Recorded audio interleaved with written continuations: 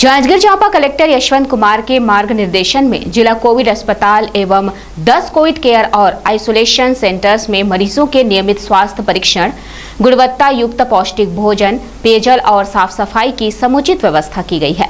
प्राप्त जानकारी के अनुसार सभी कोविड केयर सेंटर्स में 24 घंटे तीन पालियों में चिकित्सा अधिकारी स्टाफ नर्स, वार्ड बॉय की ड्यूटी लगाई गई है। कलेक्टर ने प्रत्येक पाली के चिकित्सकों को दो दो राउंड लगाकर कोविड 19 संक्रमित मरीजों का स्वास्थ्य परीक्षण करने और आवश्यकता अनुसार उन्हें ऑक्सीजन, दवाइयाँ आदि सामयिक रूप से देने के निर्देश दिए हैं।